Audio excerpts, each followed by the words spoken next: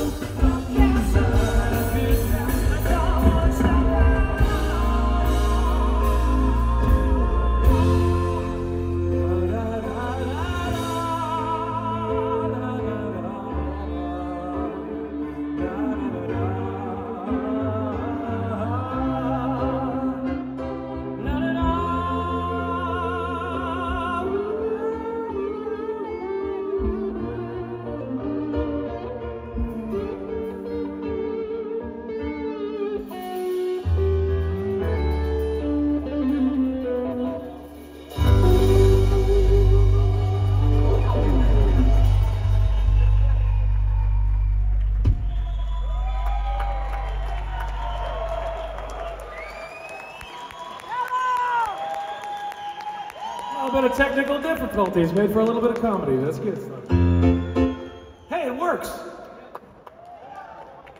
All right, Brandon's got to do something. He's taping down a button so I never touch it again. I'm playing, I'm not just playing a piano up here, I'm playing a spaceship that I don't know how to run. All right, some time for some polka.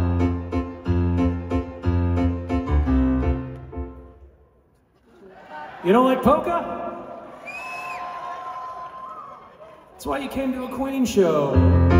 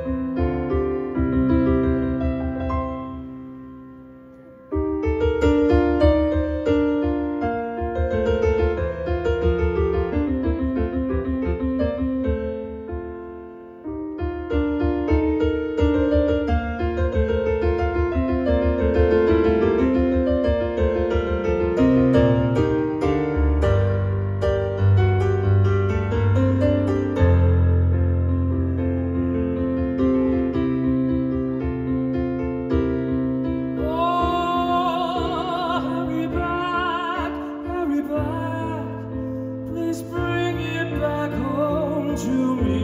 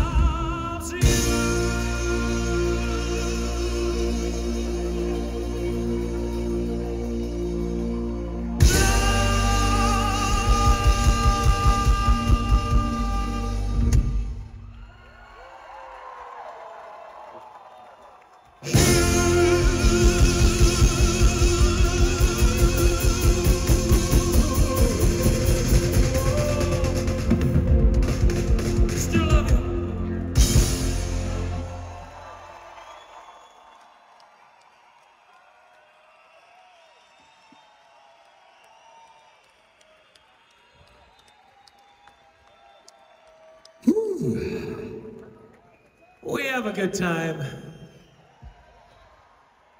It's hard to go wrong when the music is so good.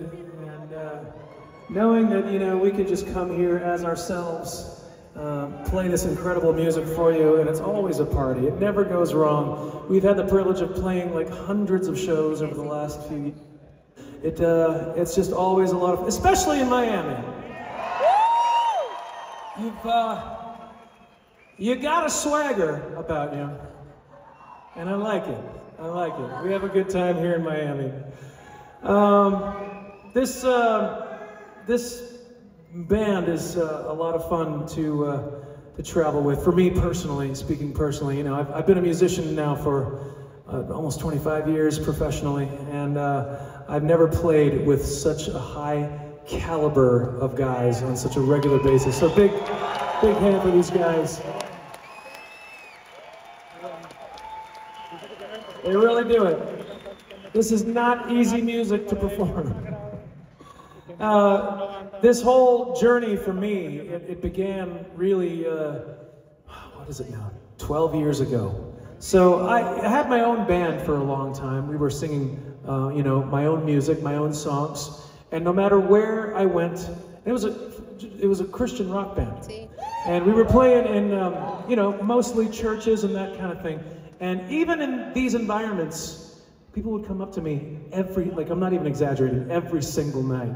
At least five people would come up to me and say, hey, you know who you sound like? Hey, you know who you sound like? Hey, you know, this guy in Alabama actually comes up to me one night and he goes, hey man, you really remind me of one of that, uh, that uh, Eddie Murray guy. I take it as a compliment. Thank you, sir. Eddie Murray, fantastic. Football player? I don't know. uh, but, uh, you know, I always take it as a, a huge compliment to be mentioned in the same sentence as, you know, literally the greatest of all time. That's pretty cool for me. And to think that uh, I never imagined that uh, sounding like someone else was like a viable career option. Until uh, I, I heard one day that Roger Taylor, the drummer of Queen, the man who wrote that last song, he gets this crazy idea in his head to form an official tribute band to himself. And uh, I believe the thought in his in his head sounded a little bit like this. This is this is my best Roger Taylor. I think I'm gonna start my own tribute band. That's all I got. But uh, so he did, and he put out an all call in North America for people to try out for this official Queen tribute band, and I tried out. Long story short, as did a couple of the other guys in this band, and um, we got to learn how to do this directly from Roger and Brian May for five, six years. So they taught us how to perform their music for you. So I think we do a pretty damn good job.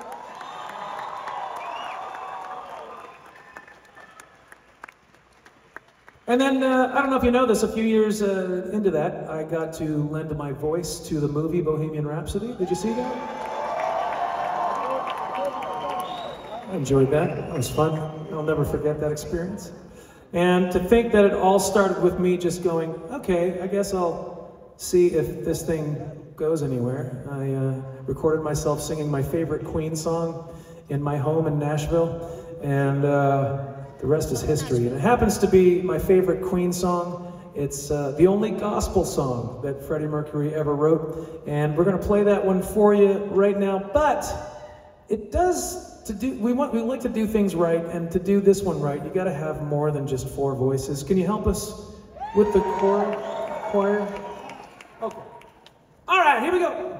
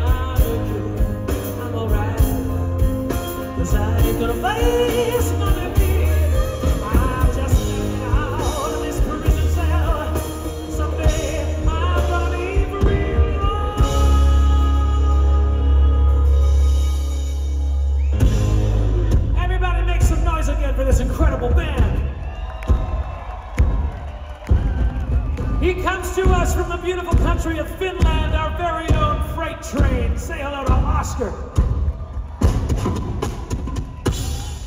Over here on the bass guitar, handling the low end, one steel string at a time. From Toronto, say hello to Mike.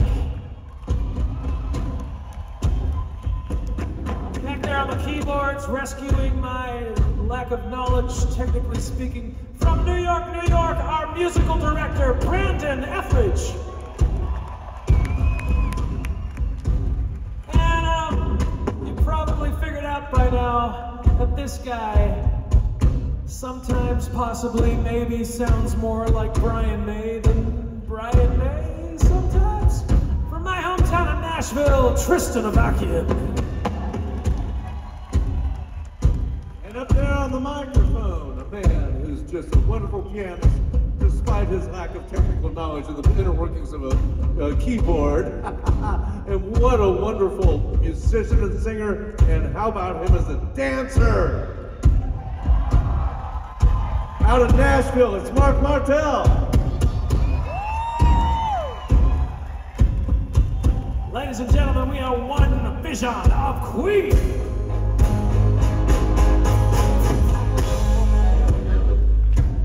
Gonna sing. Here we go. Somebody to love. Somebody to love.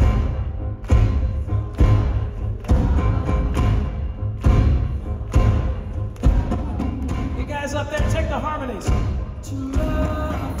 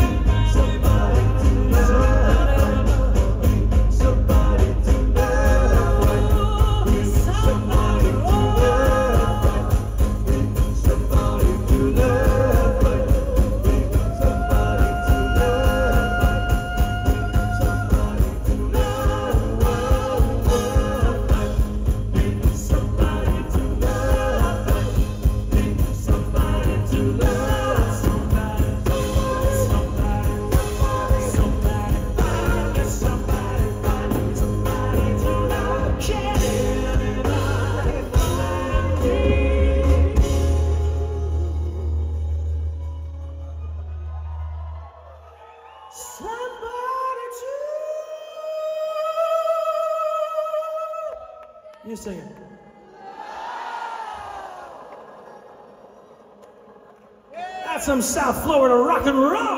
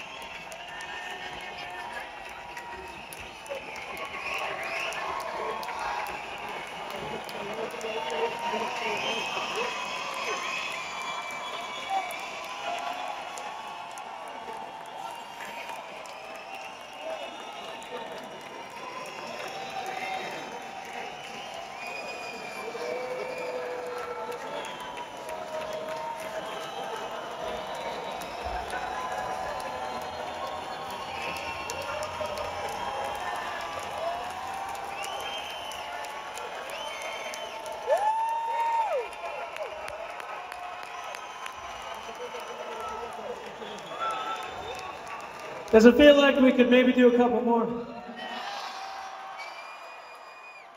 We, we, we, got, a, we got a late start, but uh, we're on Miami time, so let's, uh, let's do a couple more. Here we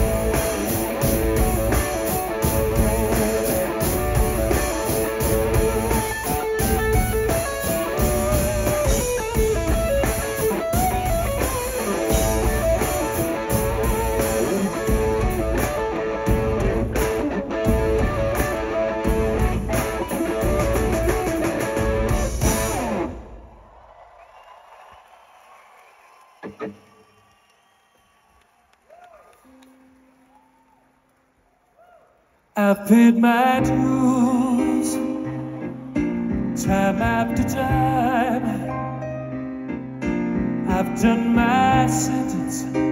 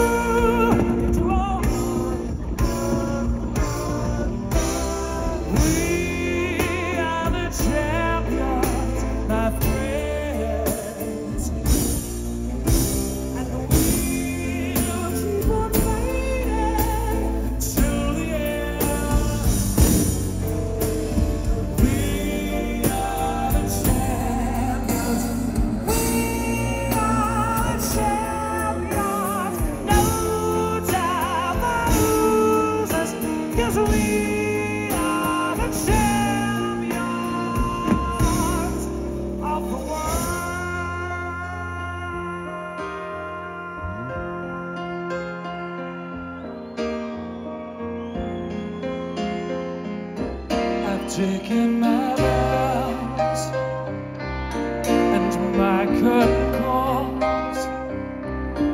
You brought me fame and fortune and everything that goes